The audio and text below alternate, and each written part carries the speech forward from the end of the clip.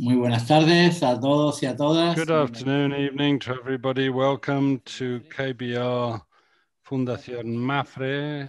This is the last uh, lecture of the series we started in February, and we couldn't do it better than with this conversation chat between Nicholas Nixon and Laura Terré.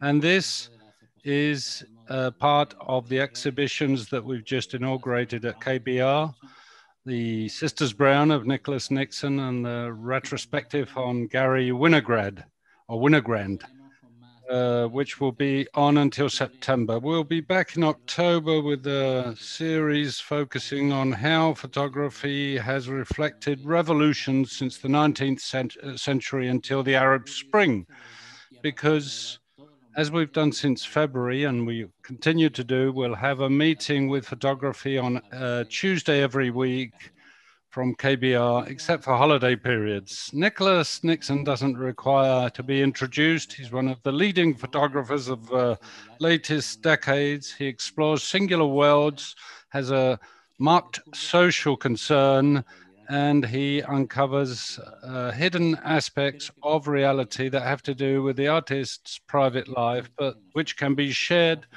and can find uh, an echo in our own lives of memories and reminiscences. Slowness, long periods, the absence of dramatic elements define his work and can be seen for almost five decades. Nixon uses a simple technique, almost obsolete, but impeccable with the use of the large format uh, camera that brings things closer to show the worlds uh, that he uh, uh picked uh, in his picture. Old, older people, people who are sick, and different uh, aspects of our life.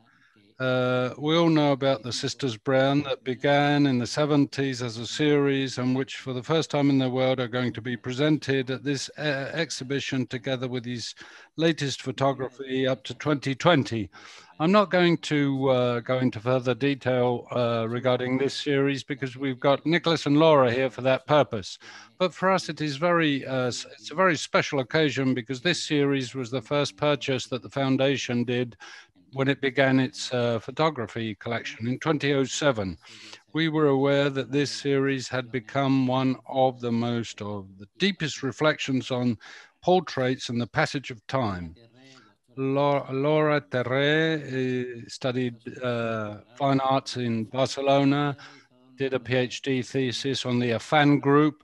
She's uh, organized many exhibitions of Spanish photographers. She has a very interesting and wide ranging archive.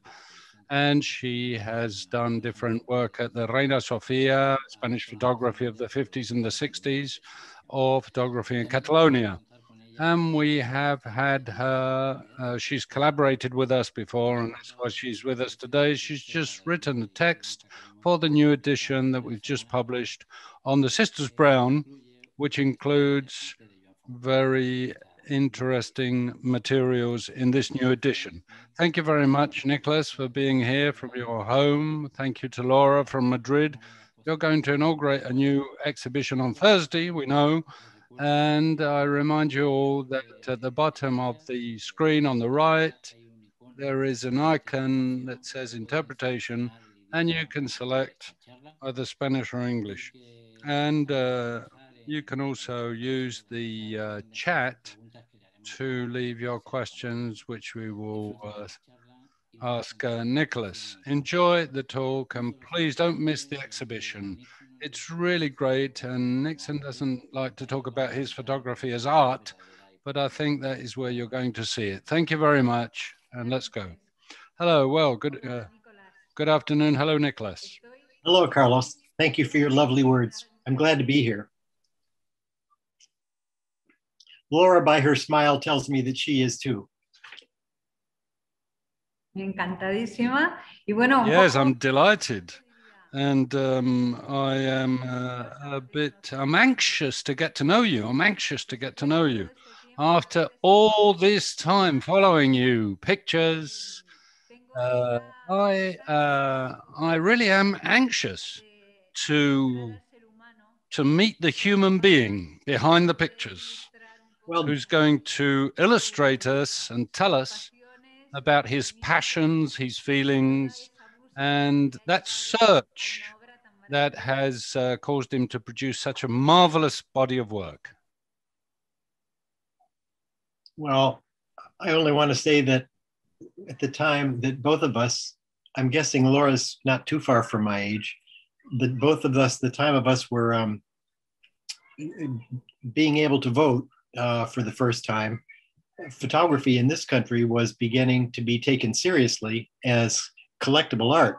And so I feel like I've been, I've ridden along on a tidal wave of um, good luck because when I started, there wasn't much of an oppor- wasn't much of a chance of anything. Museums didn't collect photography. Um, uh, few collectors did, but they were in the East Coast and they were fickle. Um, the Museum of Modern Art, you know, did, and they were wonderful from the start. But um, there wasn't, there wasn't, there certainly wasn't much of an economic way to to live unless you wanted to photograph cars or jewelry or or or, or models coming from Detroit, everybody thought when I told them I was going to start photography that I'd be a car photographer. And they were insulted when I said, no, I don't want to photograph whores standing next to Cadillacs. Um, because, you know, the deal is you get this beautiful, seductive woman and you stand her by this beautiful, seductive car, and somehow that sells cars. That's, that's the world that I came from. And that's the world that I haven't been back to.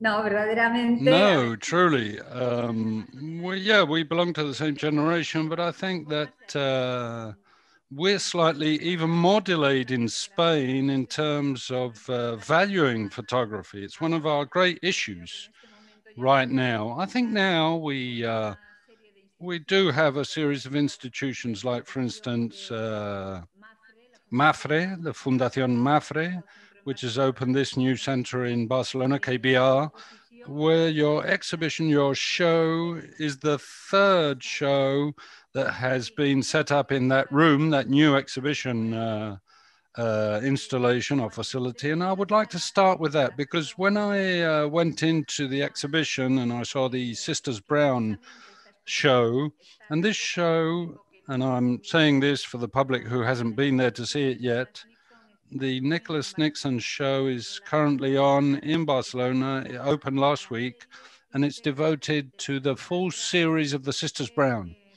And uh, we can see now on the screen, I think, some of the photographs, 45 photographs, and uh, they. Uh, they are 45 years, they cover 45 years in the lives of these people. When I entered the the uh, the gallery and I saw on the walls, I saw the series. I was admired to see that ability of time to turn turn everything round events in a very cinematographic way an installation a show that really mm, we can see how time changes people and how we uh, become part of that gyration of time. Uh, something that I'd like Nicholas to explain to us is well, in the development of this series, now 45, 45 pictures now, how do you think this makes us perceive time? What feeling do you get now that you, you can look back over these 45 pictures? Good question. You said something in your wonderful essay about time as raw material, um, something like that, that I was moved by. Um, and I think, I think it, it lets me pump a little air in the intervals between the years. It's almost like I can expand the time between the years in my mind, not with anything specific, but just so it can so they can breathe, so they don't become um, compressed. It's, it's, it, it, adds a dimension. Like um, one of the reasons I use a big camera is it not only gives things much more sharpness, but it gives more sense of depth. So, and the kind of depth I'm talking about is not the kind that photographers usually talk about, which is you know, the difference between the foreground and the background, but the depth of spatialness around the description of something. So if you look at Bebe's face in this picture, you'll see that the light is hitting her. I'll go back to the other one. Um, the, the other one, the light is hitting her pretty flat. Whereas the light, because of the way I'm holding the flash, the light is hitting Laurie on the, on the right uh, with a little bit more angle. And that's, that gives her face a little more volume and Bebe's face is a little more flat. Well, photography can show that wonderfully. Photography can show the difference between Mimi's shoulder and Bebe's shoulder. And you can feel it in the picture. That's why I use the big camera. You can feel it centrally. You don't just see it like you would in a book reproduction. Um, and so space, um, spaciousness is, is really, really matters a lot. And, and it's, all, it's always mattered to me. Um, I first, I think I first started paying attention to it when I was looking at Cartier-Bresson and the intervals between his his pictures. He would he would you know it was almost like uh, almost like he had a drawing. See, I just drew this when I was just sitting here, just to say every Matisse used to say that every single interval matters. It all is part of the whole, like a cracked glass. And you can't just take you can't just take the man in the middle and have the picture be about him and nothing else and have it be any good. It has to be about the whole picture. So anyway, I've failed but struggled to do that most of the time. And uh, I think the volume of photographic description lends itself to amplifying our sense of time. That's, I guess, the best way I can answer it. Ujú. Ahora. Now that you mentioned the depth, the depth of and the resolution, the sharpness, it's like an expansion, that depth. It's like an expansion of augmented reality that everybody's talking about now, uh, that we're adding to images. This is an interior, inside information, something that takes us towards the inside of things. So, this sharpness, this appreciation of depth is something that has to be savored over time, too. Uh, you cannot see or what or look at a picture at the speed that new technologies offer us. Instagram where everything happens instantly. This depth also uh, this sharpness of detail requires contemplation requires time. It's a way of transcending. It's a way of going beyond what we have in front of us.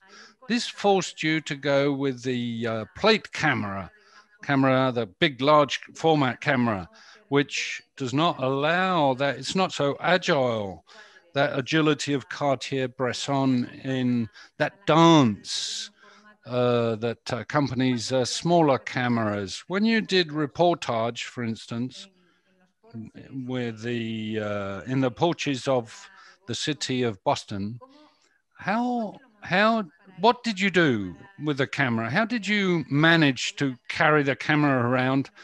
How did you set up the scenography? How did you achieve that sharpness and that depth? Um, well, if you can put one of those pictures up, I'll tell you the story exactly of how it happened. Um, the, the basic answer is I learned Vamos to a be. ver, sí, muy fácil no va a ser. Yes, it won't. I don't think it'll be easy. Let's see if we can get one of those pictures up. You can ca- Um, you can carry on. We'll try to put one of the pictures up. I think it might be a bit of a job. I learned well. I, I learned to be fast. Um, that was part of what was good. When I was photographing the buildings in Boston, uh, I was up high and I could, you know, take as long as I wanted. Um, there was only the wind and my own idea of what the picture was to slow me down. And when I went down on the ground afterwards, because I was bored, uh, the events started getting complicated. And, and, the first pictures were just called figure and landscape, I'd say, where the, where the figures were relatively small.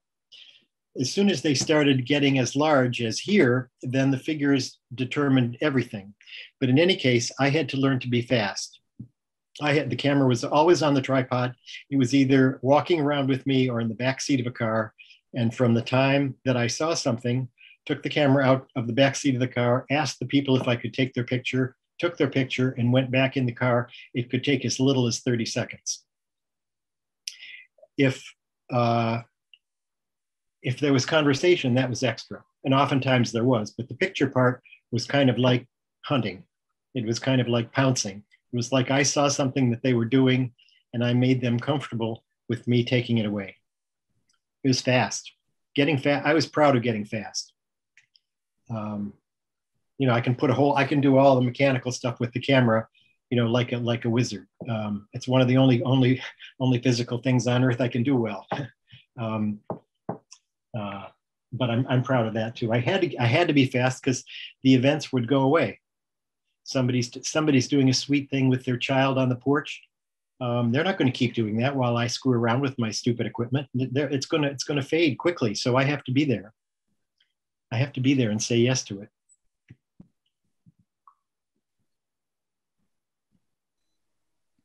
Sí. Lo siento, pero no, no encuentro la fotografía. I'm sorry, I'm terribly sorry. I can't find the picture. But as we move along, I'm sure that the picture will surface. Um, one of the things people that come to the show will be able to see this full series of the Sisters Brown, which we're seeing on the screen, and we see over time they they, they change. Uh, and they'll find the last, the final picture taken in 2020, where uh, the four sisters. Can we see the 2020 picture, please? 2020. The four sisters. And we see as the pictures go by, the sisters are separate, are separate. They're in different quadrants due to the circumstances last year, the pandemic, and they couldn't get together. Family couldn't get together physically. And why did you do this photo like this, Nicholas? Why didn't you wait? Why didn't you do it, take a break? Was this photo necessary in 2020? Was it necessary in this 45 year long series? What what's the conclusion? What what are we seeing here? Uh, good question. We're, we're seeing my marking the year. One of the rules of the series, the unstated rules, is that we have a picture every year.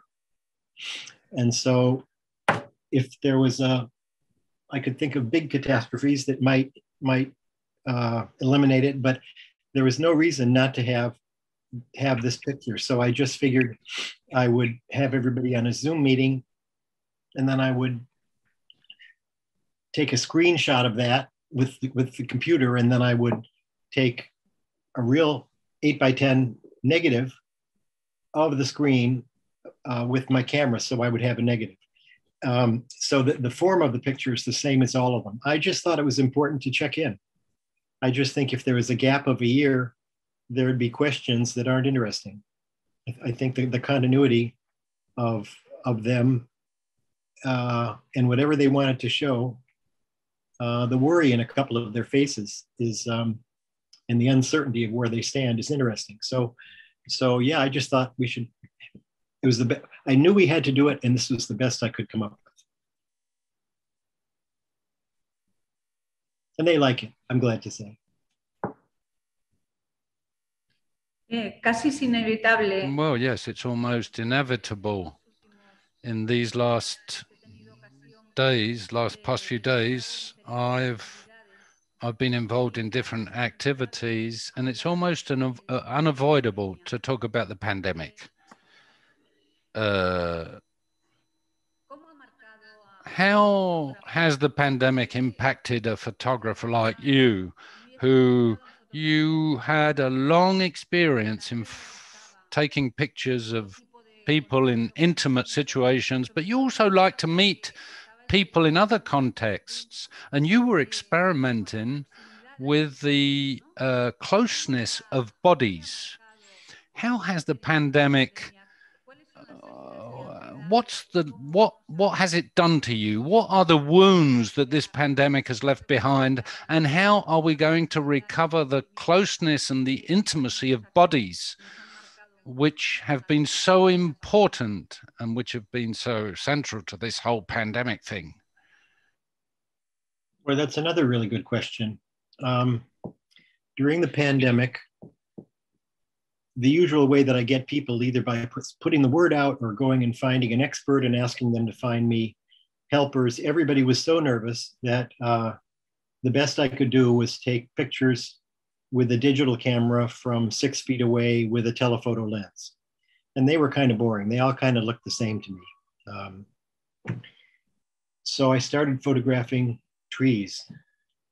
I read a book called The Overstory, beautiful book about the way trees are alive as our ancestors. And um, there's a park nearby that has a series of 200 year old beech trees. And I went there every day for nine months and photographed there. And the pictures of trees are kind of human. They're kind of kind of sensual. And I showed them to a psychiatrist and he, psychiatrist, and he said, "These trees should have clothes on." Um, um, some are kind of erotic, I guess. And then I did a series of ginkgo trees in the Boston Arboretum. Um, and I love those pictures too. They're like J- Japanese pattern screen pictures. And now I'm doing apple trees and I don't know where it's going. I'm a getting a little tired of trees. Um, I love the pictures, but I love that I can do it as freely as I could if, when I was photographing people before. I love it that I don't have to, you know, sign sign HIPAA forms and go through a lot of red tape to to get there. Um, I was hoping that by the time I kick off, those those rules and that those those obstacles would be so. I mean, I, I wouldn't have to worry about them anymore because I'd be dead. Because um, they're getting worse every every year. Um, so, but I'll figure a way to do it. I'll, you know, as soon as now that people are now that people are looser, um, I have a, a, couple of things occur to me as good to do. One is hard. I want to photograph. I'd like to photograph people while they're having their autopsy, but seeing their faces. Um, so you see the outside and the inside at the same time. But I only have a couple of doctors who, who are even remotely interested and think it's possible. So that may just die for being an impossibility with germs and everything. But just think how great it would be. You know, a person where you can still see their face, but you can also see everything inside. Mm. Um, I'm still interested in flesh, but I'd like it to be very, very, very, very old. Nobody, nobody over, nobody under 100. Um, I volunteer um, at a housing project, a, a, very poor one, and some of the residents I know would make very good pictures, but I would I've done that before. What I'd like them to do is be naked and let me photograph just their skin, their old, feathery, beautiful skin. And I'm, I'm not sure that'll fly either. I mean, I, can, I know some of them will do it, but the nurses might not feel comfortable letting me do it. So, um, the other thing that's happened during the pandemic is that I feel less aggressive.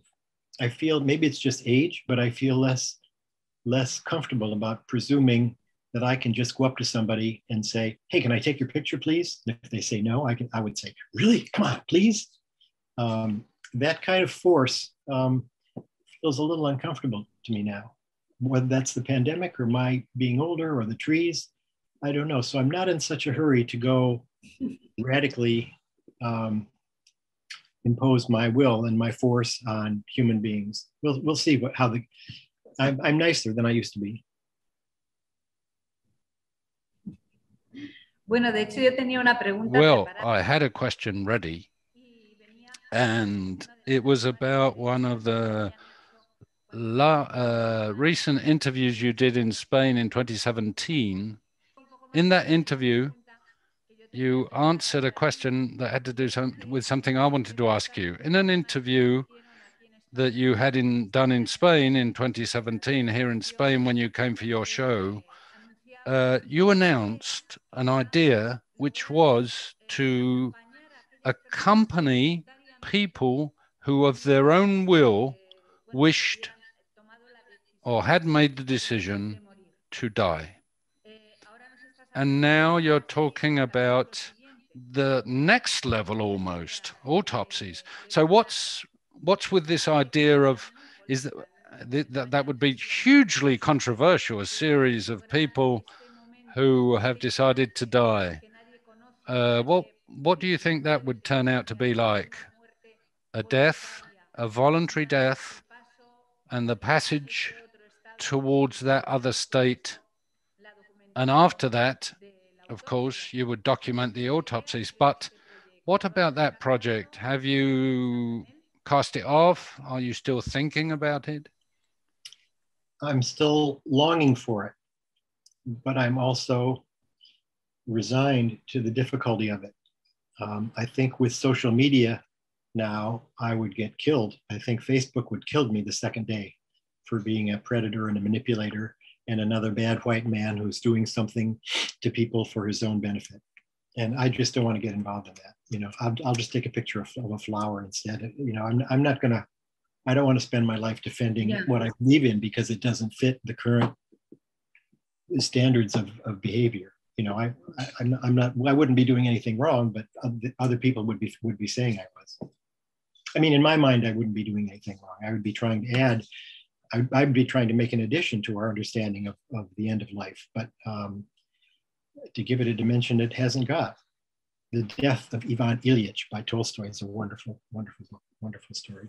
Anyway, um, so I, I, I'm, I'm a little bit sad that it probably will not happen because of so because of social media has all come up in the last 10 years you can't even photograph kids on the streets anymore without their mom you know taking a picture of you and sending it to the policeman so um, the thing, you know, the pictures of kids that I started out loving of Cartier-Bresson, of them just playing in parks, it was that way when I started too in the 60s. Um, it was pretty easy to photograph anybody anywhere, um, especially if they were, especially if they were poorer, because they're, they're in the poorer neighborhoods, the mothers and fathers exercised a little less rigid control than they did in the upper suburbs. And so I was drawn to them because the kids were freer and were more themselves and less less, less uh, regimented by their parents. Um, but even that's changed now with, with cameras and so I'd, I'd feel funny about doing making those same pictures now. Um, not to mention that I'm different, but uh, I don't know. I think it would be I think it would be hard, and I think it would be difficult for me to accept the rejection. Oh, you can't do that because we don't allow people to take pictures of people anymore. Because what if we'll sue you? What if we'll, you know, we, we need a prenuptial agreement on this. You know, no, I, I, I, I, don't want to do that. I'd rather come over and take 20 pictures of Carlos, one a day for a year. Or all of you people. I bet, I bet, I bet if I would propose that I come over and go to both Madrid and Barcelona and photograph all of the staff, all of the people that you know who are willing to do it uh, once a week or so with your children or without, and gave everybody pictures and had the right to use as a group project the best ones for myself. Um, I bet you I'd get a dozen interesting people to volunteer. Whether I could get MAPFRE to pay my plane or not, um, I don't know. But I, I, just had the idea, you know, that that would be cool because they know about me. They're sympathetic to what I do. And so they'd likely be uh, emotionally willing to be available. I know Paula, I know Victoria, I know Nadia. I know they, they would be great to photograph because they like me and I like them and we trust each other. Carlos, Salvador. So maybe if Carlos is listening to this, we can we can put together a, a new project sometime. I, I, love I love the idea. It'd be just Nixon in Spain. Nixon with Spanish friends.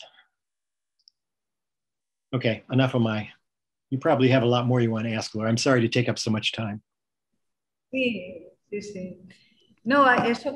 Well, no, what you've just said is fascinating because it seems it's unbelievable that in these times of maximum communication, our ideas, the immediacy of everything, hundreds, millions of people are reached in a second. And yet, and yet, we are more censorship has come back again. We're applying censorship to everything. We are self limiting. We're limiting what we do. We want to be correct.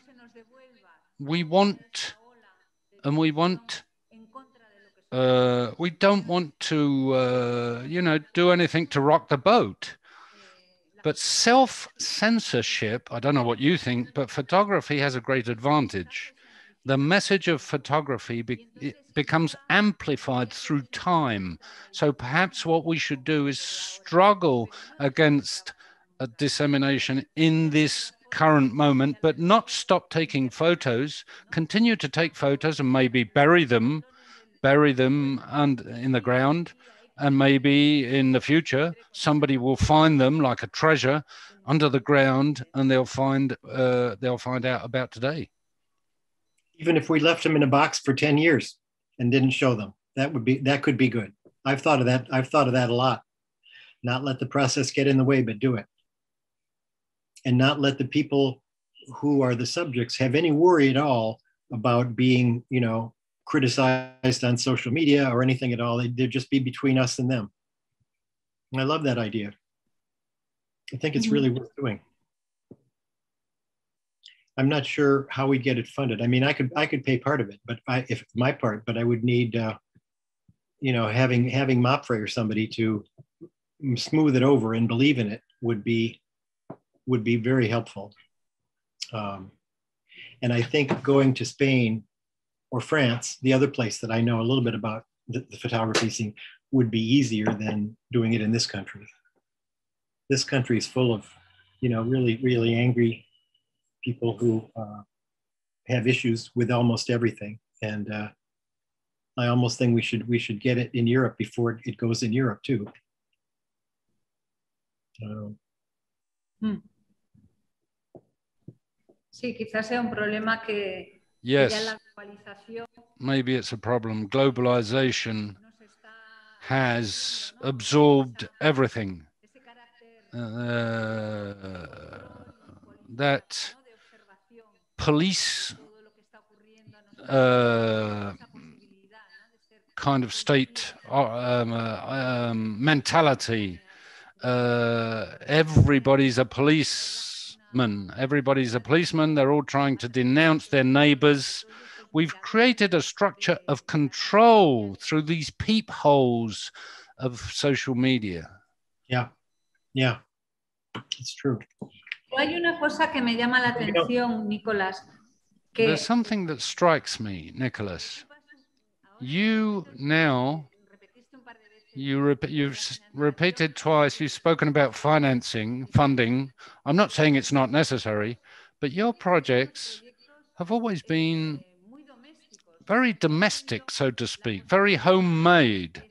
You've always had the possibility of doing things in a very humble, everyday way without having to resort to trips uh, very far away to big infrastructure you have worked with very limited resources to achieve a, a, a top quality uh, body of work.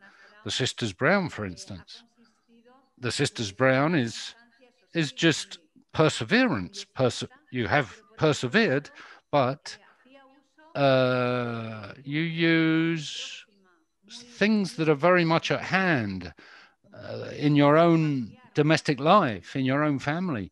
Um, there's another thing that I'd like to ask you, which is a temptation we all have when we see this series.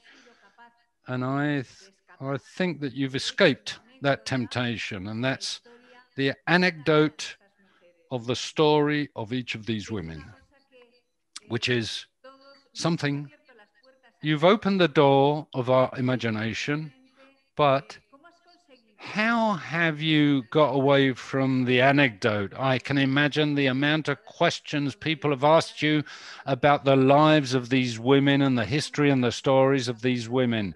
You can't escape one of them because it's your own, she's your own wife. But uh, there's that aura of mystery that you've created. How did you do that? How did you create that aura of mystery? How did you get away from the anecdote? Well, early on, for the first few years, I thought the pictures were mine. I took them, I thought that they were mine. After mm, maybe five or 10 years, we talked about it. And in deciding which one to choose, it became clear to me that they were all of ours and that everybody should have a say in voting. And so it came up then that none of them wanted anything about their pers- personal life revealed. So basically, the answer is why I don't do that is because they would they would castrate me if if I spilled if I told anything about their lives. That would be the end. You know, they would they would just they would just say, "That's it, Nick. We're not taking any more pictures, and you just step over here. We've got a present for you." Um, no, I've I've promised that they want they that's the way they want it, and um, I I agree. I would spill more beans if it, if it were just up to me, but um, there, there are two of them especially that are just hard as nails about keeping private. One of them, if you, if you, if somebody notices her on the street, you know, gets huffy. Um, one of them loves it. Bebe's sort of gently amused and passes by, and I don't know what the fourth one does. Um, but there, what was the first part of your question, Laura? I had a, I had something good about the the the, uh, the first part of that last question. No, eso que que siempre. Eh, well, no, yes. We're always wondering about the personal lives of these women. It's a huge temptation. When you look at these pictures, you wonder about the lives. And I was just wondering how you'd got away from it. And you've just told yeah. us.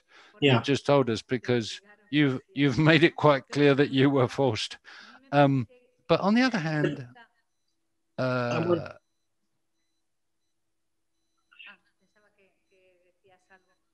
I thought you wanted to say something. Did you? Yeah, yeah. One one thing.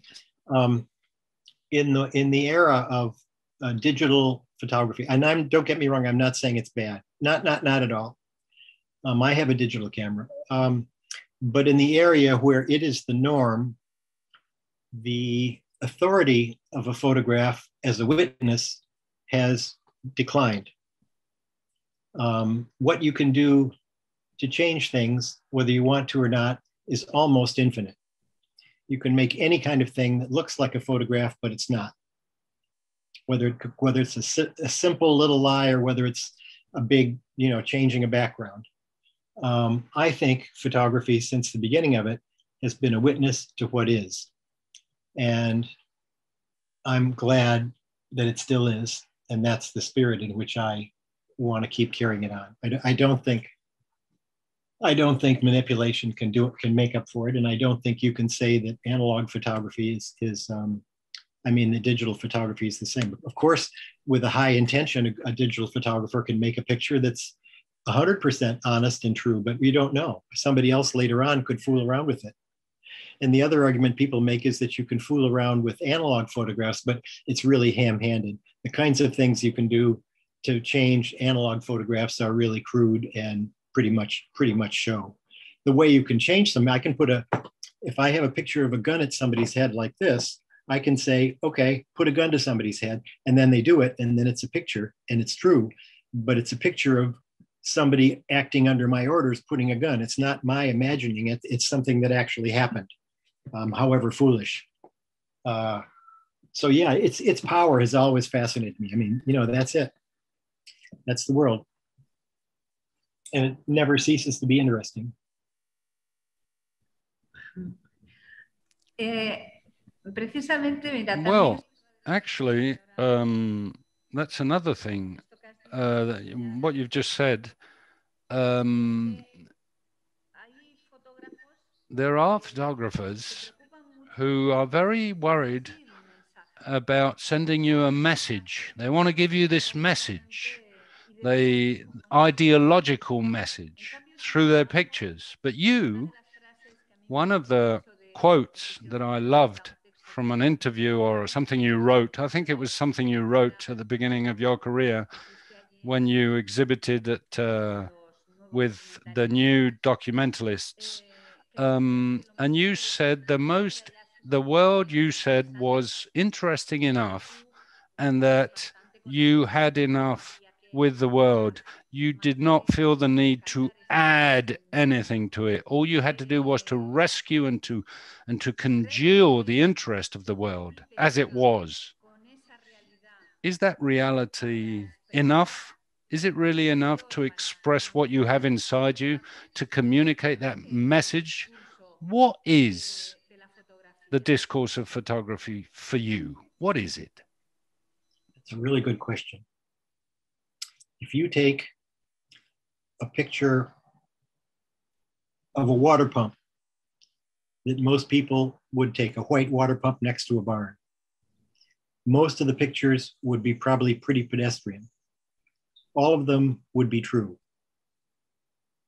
The Walker Evans picture of the barn of that of that subject is no less true, but because of his intelligence and where he stood, and because of his eye, he was able to make it become not just a water pump, but a prototype of all water pumps. And I don't think in doing that he takes away from the individual water pump. I think he's just seen it so brilliantly that it becomes bigger. I think I when I'm when I take a picture of the four sisters in the back of my mind, I just want to take a picture of four good women. I don't care if they're sisters. I don't care if they like me. I don't care anything. I just want to take the best picture I can of these four women who are present in front of me. Um, so the paradox when I say it's a witness, most most witness pictures, that's why when you say documentary, most people think boring.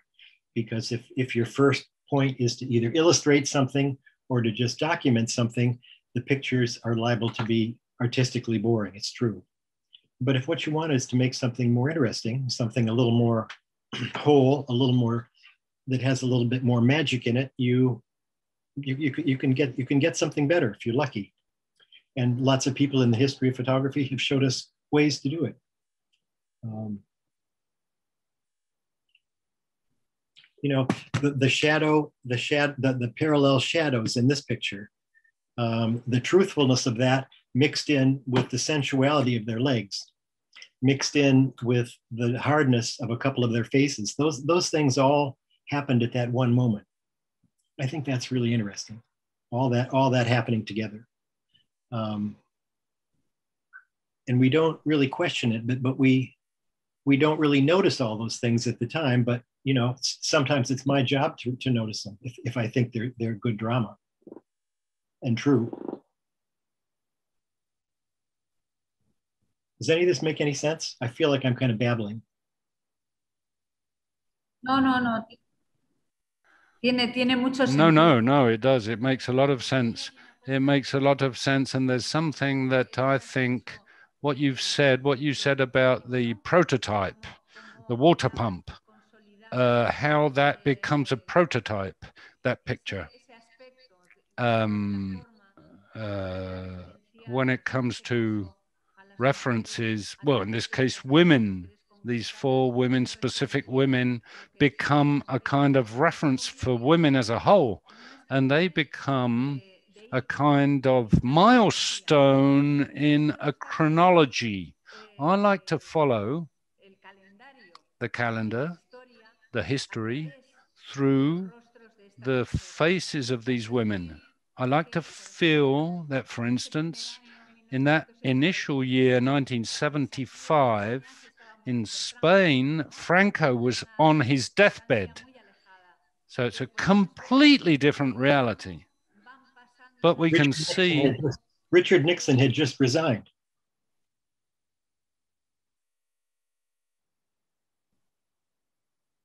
I'm sorry, I interrupted. No, no, no. eh, La idea No, no, no. The idea was to understand how history comes to you through these faces, which are, uh, how would I say, they're intemporal, these, these faces in a way. There's a contradiction, big contradiction uh, in terms of documentary photography. Photo- documentary photography always wants to congeal the fact in history. The fact in this case is a biography. It is even more than that. It is, it, it is the biology of the bodies of these women. You were talking about taking pictures of people that are 100 years old, 15 years old. We're feeling history in an intemporal way, but at the same time, in the in the in the in the strongest possible way, which is the the, the body. Have you ever been? Has anybody ever said to you that your photography was lacking in political commitment, for instance, social commitment in terms of the evolution of time and history and the events of history? I don't know whether I've made, I'm explaining what I mean, but has Well- that happened to you?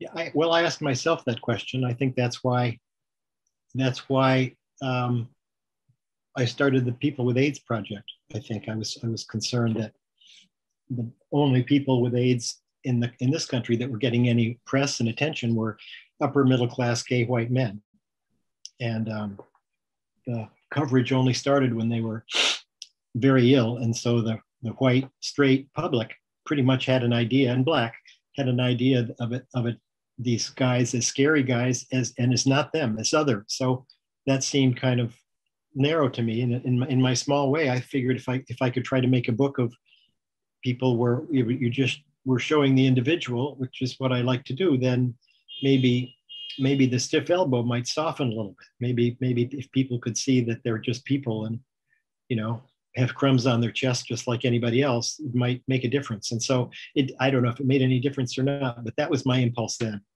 My other impulse is if you look at my school pictures and you look at my people outdoors i'm very conscious in a subliminal way of making races equal.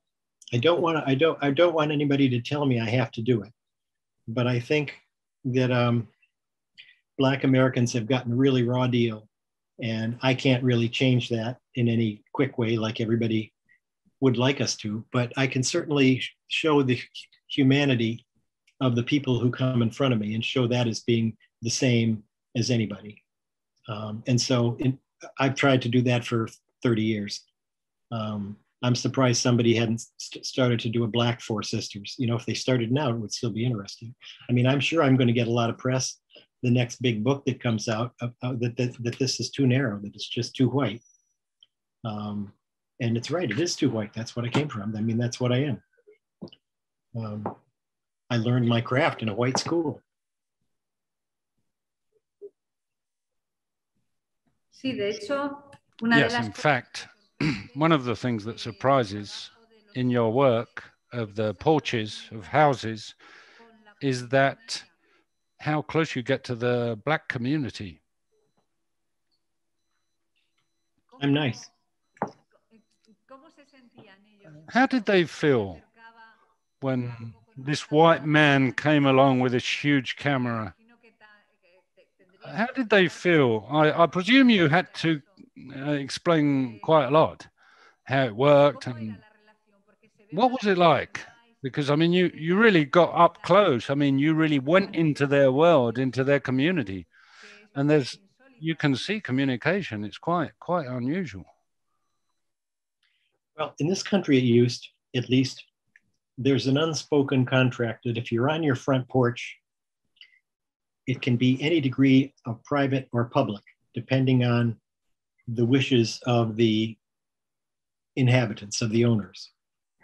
So the porches or the situations I would stop at where I thought something was looking good were ones where I, I, I felt the people were open and might be responsive to a little playing around or a picture. Um, so I had something going for me in, in the first place. The other thing is they were usually often doing something that I liked the look of, you know, like, oh, look at the way you're holding that necklace. Or, oh, man, put the way your, your hand is on her shoulder. Can I take a picture of that? So I start in with something specific that I think is good. And I ask about that. And um, I'm also charming. You know, I, I can, I can, I don't lie, but I can make people feel easy, and and and and uh, I'm also very determined. I also, um, you know, want the picture pretty badly. Uh, once I came back to the car, Bebe was with me, and I came back to the car after some people had said no, and I was angry. Um, she said, "You you have no right to be angry. You know, you what are, what are you being angry for?" I said, "Because it was so beautiful, and I can't have it." And she said, Well, it's not yours to have. You have to make your peace with just being grateful for what you do get. So I, I learned something from that. Um, but I'm hungry. I'm hungry when I'm out there. Um, and I think I, I don't want to walk away because the camera gives enough time to talk and to make peace. We often exchange names. Um, and try to bridge the gap. And, uh, you know, I, I send them pictures afterwards. Um, they give me their address and I send them to them. if they want them. Some people say, nah. Um, uh, but so I think it's it's a it's a very limited communication, but I think it's an effective one. I get a truthful picture, they get a picture that that a funny guy with a big camera took of them. Um, the door is open for more communication if they want. I've been back to some of their houses a couple of times. Um, and I, you know, I live, I go, I think I'd have a hard time in places where the neighborhoods I, I photograph in Boston are sort of mixed. So being black, at least in Boston, in, in many of the neighborhoods is not a big deal.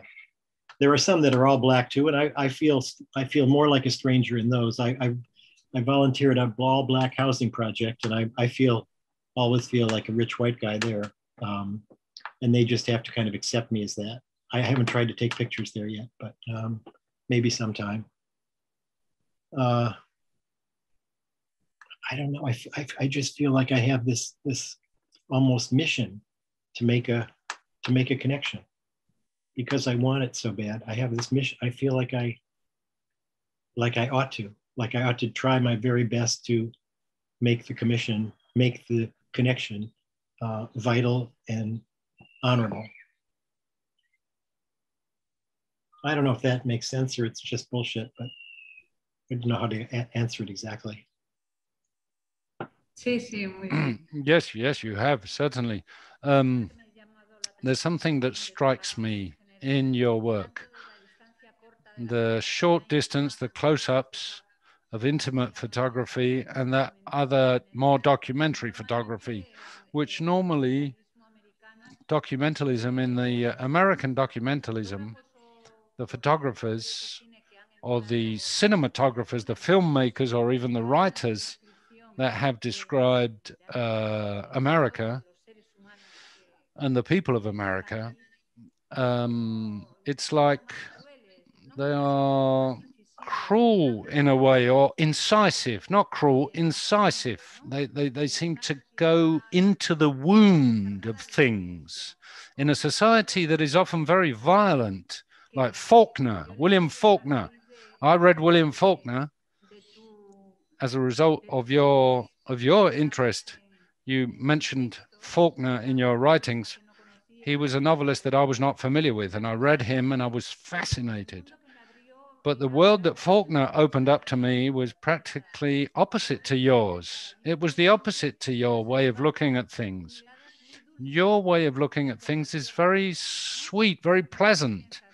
I don't know what you think, not so harsh.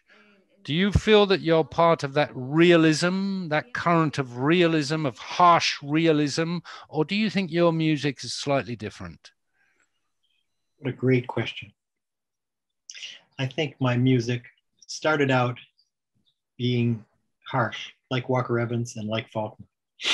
I think as like as a young man, I think in the back of my mind, I was trying to show, I was trying to point a finger at what was ironic or silly or commercial or uh, or like like Arbus Arbus showed fake. Um, excuse me, I have to sneeze. but over I think photographing the people, I just changed. I got more sympathy. I got sympathy for the individuals, and so I didn't feel like I could like they were types anymore. I didn't feel like I had any right to you know, if somebody's fat, to make fun of him, or if somebody's um, eating a greasy hot dog and it's falling all over his shirt, make fun of him or take a picture of him if he's mean to his child. Well, I might take a picture of him if he's mean to his child because that's part of life. But I wouldn't. I, I, I, just feel kinder. I feel more kindly disposed toward people. You know, Arbus. Um, there, you can find pictures of Arbus that are kind of rough and not particularly nice. But one of my favorites that I have a print of, I'm going to show you right now.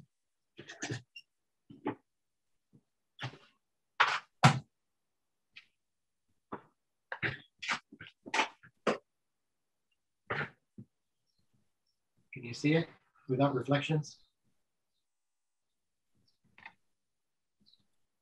It's the sword swallower. Sí, se ve bastante bien. Sí.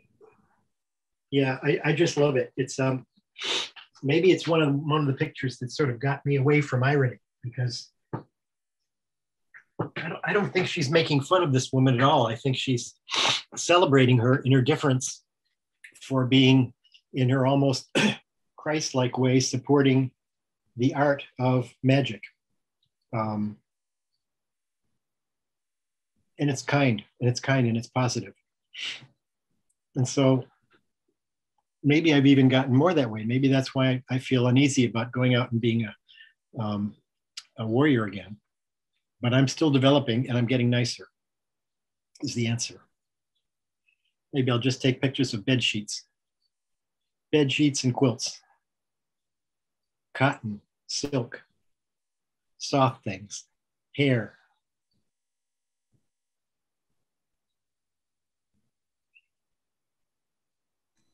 Es un buen proyecto. That's a good project. Very good.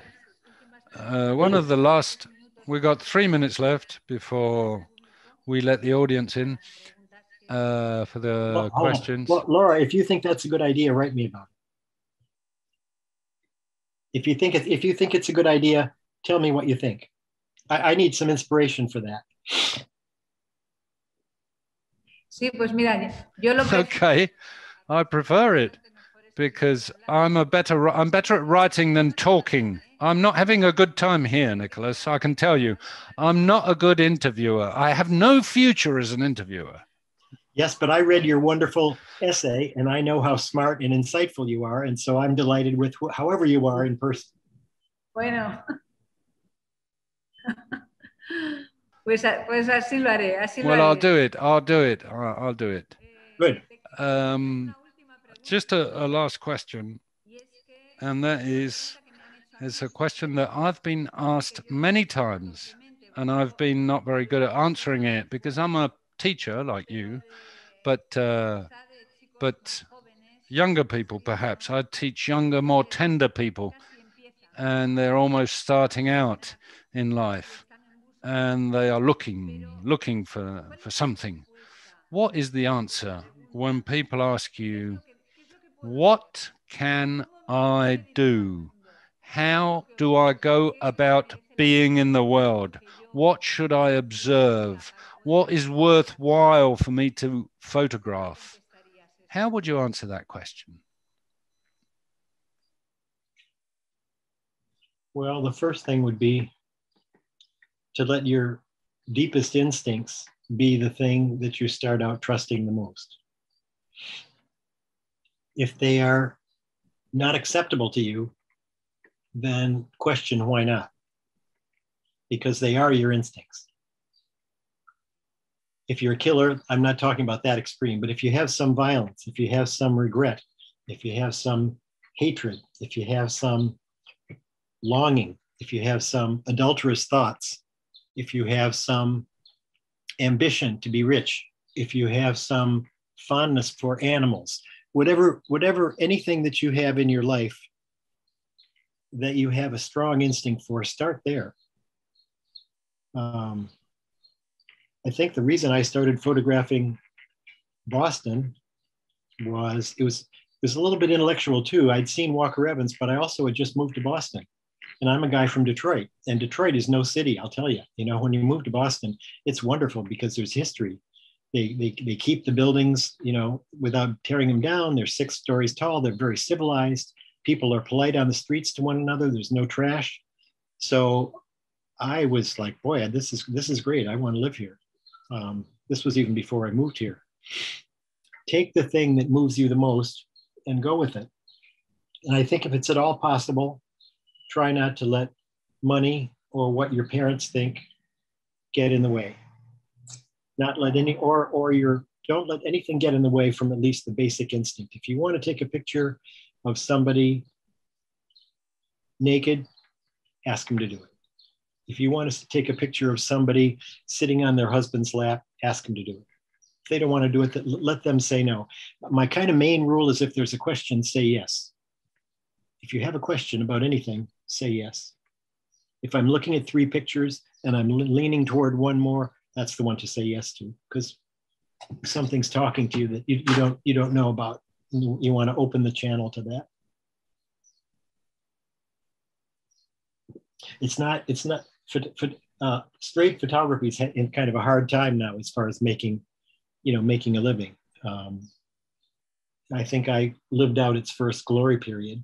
Uh, the art world seems to be not so, not so uh, keen on sincerity anymore, and um, I am. ¿Crees que no que la, que la Do you think that sincerity, sincerity today, people, do you really think people don't like sincerity today? Do you think we can say that? I think people mistrust the false use of it, and it's become a little bit polluted because there's enough fake sincerity around that it's gotten a little bit untrustworthy, and therefore it's easy to make fun of it and do something that's critical because that's clearer. Um, I, I, choose to just stay sincere, and if people people can take it or leave it. Um, I'm lucky because I have a kind of reputation of being a guy who does that. So, you know, I, I my I have a I have a history, but um, I think it's wonderful. If you look at the film, if you look at the films of Ozu, oh my gosh, how good they are. The films of Renoir, oh my gosh, they're totally totally without guys and without without irony, without second thoughts. Um, sometimes I think the very highest art does. Uh, but then exceptions always come along and prove me wrong. So I wouldn't say that to be absolutely. Sincerity works, I think.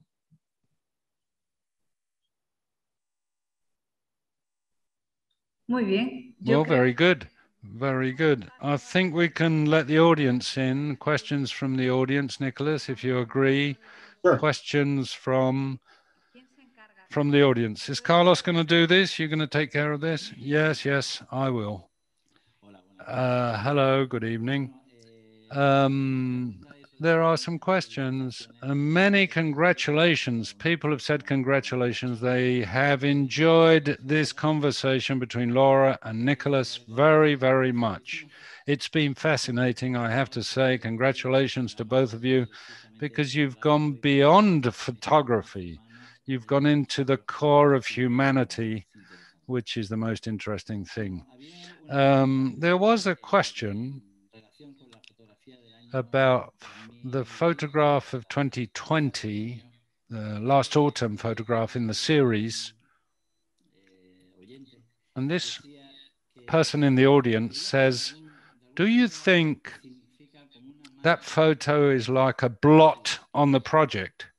That 2020 photo, you've had to do screenshots instead of taking a photo of the four women in front of you physically in order not to leave that year empty. You've done screenshots. Uh, do you think, if you look at the, the the project, would that be a blot on the project, or maybe a milestone? Because COVID has been a milestone in everybody's life. What does it mean? What does the 2020 picture mean to you in the context of the whole project? I think it's a comma. It's a pause. It's a comma. It's different, but it's going on. What do you think, Laura? Pues a mí me hizo pensar. Well, I it made me think a lot that picture because really um, it is a pause. It is. It's like when on the cassette tapes in the old days, there was a noise all of a sudden, and then the tape went back to normal, and the sound was normal. There was a s- distortion, and then it went back to normal. Well, this was something like that.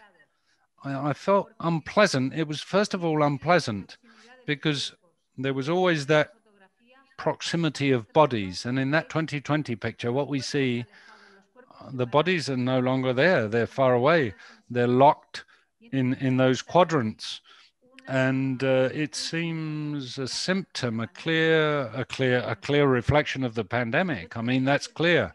The other day, the prize, the Pulitzer Prize, was given to a compatriot of ours, Emilio Morenatti was given the Pulitzer Prize for a series of photographs on the effects of the pandemic on older people, Hmm. on el- the elderly who were in homes and they were locked up in care homes, nursing homes. There's a picture where you see that there's a couple, a couple, a married couple, and they're separated by a piece of plastic. And the piece of plastic's got holes in it, holes in it with sleeves. So these people can touch each other and they're embracing the, each other through plastic, which is completely ridiculous. There's no contact between the bodies. It's an absolutely terrible thing. And it's a symptom of what we've become. They are allow they're allowing them to embrace, but it has to be through plastic. They can't touch each other. It's that picture of uh, 2020 you were saying before earlier you were saying that it they became your pictures of the four women became a prototype. Those women became a prototype for for women. But in 2020 in the picture in the 2020 picture it's really uh, it's really a clear image of 2020 and what 2020 was about and what it they're, they're completely segregated. It's a it's a it's a picture of segregation they're, they're split apart by the, the communication is broken uh, and it was a screenshot you had to take you had to take screenshots nothing else was allowed there's a there's a segregation in space I don't think that it's a blot. I wouldn't call it a blot on the project. On on the uh, quite quite the opposite. Quite the opposite. It is it is it is showing these atrocious conditions of separation and segregation that people have been through. And I believe, if you allow me, when we see the show, and it's the last picture in the series, and it, it really does strike you. It does strike you because you see the sisters through time, the fraternal relationship, the sisters, and all of a sudden, bang. But I presume in a few years' time, let's hope many years' time, that picture will be like an anecdote, like a like a an anecdote in the past. It won't be so important as it seems now. Yes, yes, I believe. I but but but but but I provided the next picture goes back to the old normal. But this is the first question I asked Nicholas really. What wounds has this pandemic left behind? How are we going to get out of this? How? How? This trauma that we've been through, all of us, which has forced us, us in the Mediterranean countries. I mean, we love to touch each other, to get close to each other, but we've changed. Our way of, our whole way of being has changed. The way we relate to people. I think maybe it's it won't be an anecdote you know i think maybe it won't i think maybe it will last longer than we think and i think that the consequences we, we'll ha- we'll see what the consequences are I think if, if uh, as the series goes on, and I hope it will, um, the way they look in the next few years' pictures will be probably a little bit more charged than it would have been had there been no pandemic, because they'll have gone through it. They'll have they'll have they'll have made this picture, and then the being back to normal it will be different for each one of them but they're all they're all still loving and together and so i think the combination of those two things might make a pretty interesting uh, result. I hope so.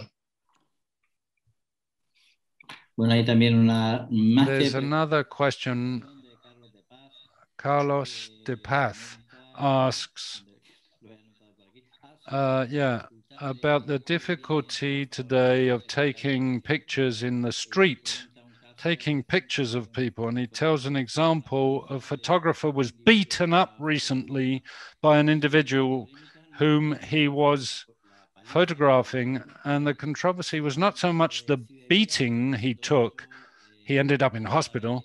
But the controversy focused on whether the photographer should have tried to take that picture or not, whether he was doing the right thing or not. So that's the question. The que- well, if you're out on the street with a camera, there, you know, you you got to pay attention to everything. You're going to photograph somebody who who offends somebody. You're going to photograph somebody's girlfriend in a way that they see as as uh, as aggressive. You're going to get too close to them when you sense that they're not. Um, they might slug you. I mean, that's always been the case. Garry Winogrand got in fights because he, he pushed the line of getting too close. Um, I might expect it's never happened to me. Well, yes, it did. A woman, a woman pushed my pushed my shoulder and told me to go away when I was trying to photograph a baby. Um, and I just, and it was because of the times. I said, "Oh, could I take the picture?" You know, they're walking down the street. She was holding the baby. Her her friend stopped, was walking by, and I said, "I did my oh," because the baby's the arm was reaching out and the sun was on and it looked like God. And so I said, "Please, could I take that?" And the the friend said, "No, no, go away from here." And I usually when that happens, I say, "Oh, please, look at how beautiful it is, please," and I talk them into it. And she said, "No, fuck off," and she, you know, just rushed and she hit me. Um, so that never would have happened before. That she thought she had the right to abuse me because I was only trying to be persuasive, um, and it was out of love. It was out of affection. I, I don't. I don't think she thought I was meaning any harm, just that I was bothering her. Anyway, I'm not surprised, Carlos. There's a zillion different situations, and if somebody's an asshole, they're going to get nailed. Ujú. A ver, hay otra pregunta como muy general de Nacho que... There's eh, another question, a general question that says, How have you looked at the aesthetics of this series? It's a very wide question. A series, The Sisters Brown, that's been going on for 45 years, but that's question. The aesthetics, the aesthetics. Well, Carlos, to help focus this question, there is something that uh, Nicholas mentioned earlier when he spoke about the depth of the uh, picture. He mentioned the use of flash for pictures because most of them are done, uh, are exteriors taken outside. They're also taken at times when the light is very low, most of them. Yes. What is the, I'm curious to know, the aesthetic approach to light? Because there is an intention there, is there not, Nicholas? Oh yeah, but it's very practical. if I'm in a, if you look some in some of the pictures where it's just all white, that's because we're we got together at a wedding, and the only time I could take the picture was in a room next to the wedding, and they were all dressed up. So I used a flash. The the camera I use is slow. I can't take a quick picture indoors.